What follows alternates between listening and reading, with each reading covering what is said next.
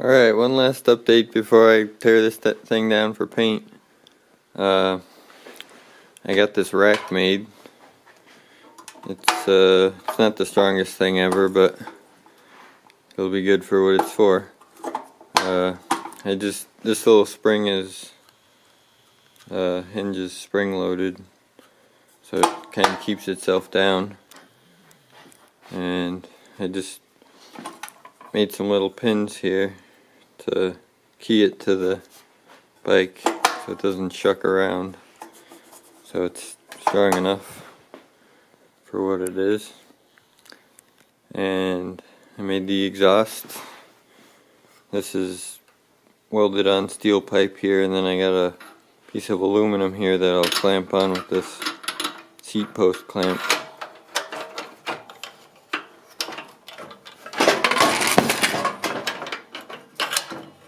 here. And it'll sneak out right under there. Like that.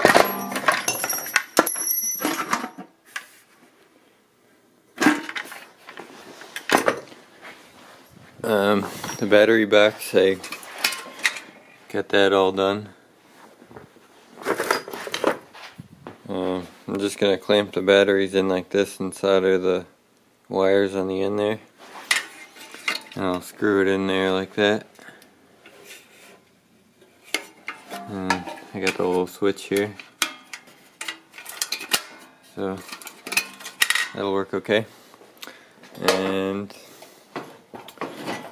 I got the, I redid these stainless trim parts welded them on from the back side there. So they'll shine up okay?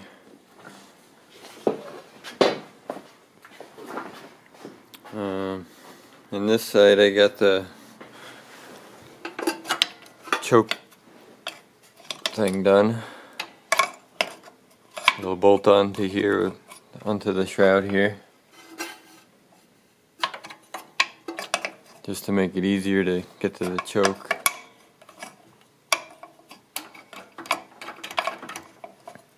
and uh, this hole's this hole here is where the throttle cable will go. Like that.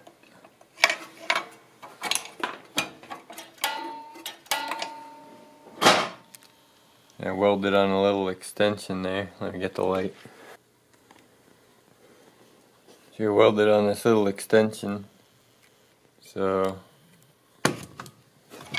I'll be able to hook the throttle to something.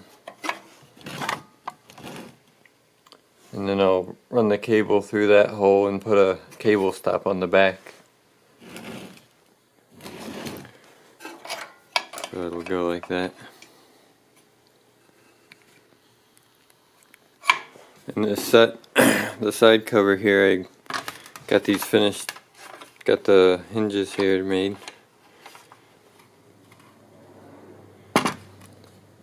This piece of steel runs all around there and goes like that and this slides into a piece there. And I made this little latch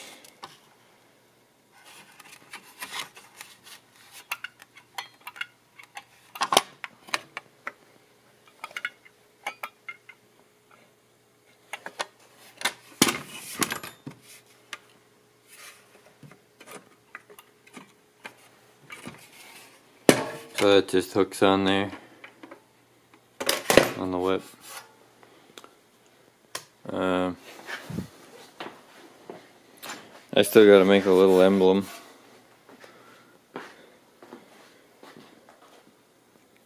And I think I showed you the kickstand already.